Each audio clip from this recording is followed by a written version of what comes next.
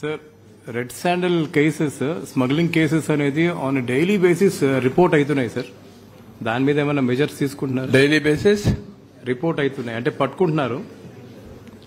అవుతున్నాయి. Last time చాలా ఫర్మ్గా act చేశాం మీకు ఐడియా ఉంటుంది. నేను ఒకటే రాష్ట్రంలో ఉండే ప్రతి ఒక్కరికి ఒకటే చెప్తున్నా. ఇల్లీగల్ యాక్టివిటీస్ ఎక్కడ జరిగినా వదిలిపెట్టం. ఐఎమ్ వెరీ క్లియర్ అలవాటైన వాళ్ళు ఎవరైనా ఉంటే అలవాట్లు మానుకోండి. మానుకోకపోతే మాత్రం చాలా ఫర్మ్గా ఉంటాం.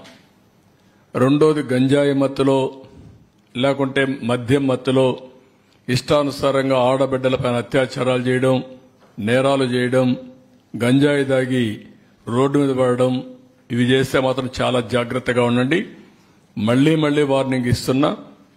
ఒకసారి చెప్పా రెండోసారి చెప్పా మూడోసారి చెప్పా. రేపు ఏం చేయాలనో కఠినంగా వ్యవహరించి చేసి చూపిస్తాం. హెచ్చరిక చేస్తున్నా రాష్ట్రంలో ప్రతి ఒక్కరికి. యాంటీ సోషల్ ఎలిమెంట్స్కి అందరికీ హెచ్చరిక చేస్తున్నాం. అందుకే ఈరోజు జరిగిన నంద్యాలలో జరిగిన ఇన్సిడెంట్ కానీ అదే మరి ఈస్ట్ గోదావరిలో శ్రీకాకుళంలో జరిగిన ఇన్సిడెంట్ కానీ చాలా సర్వసభ్యం సమాజం చీకొట్టే సందర్భాలు ఇవి.